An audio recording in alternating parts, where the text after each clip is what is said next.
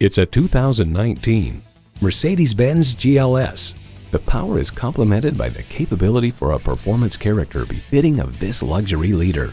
Plus, it offers an exciting list of features.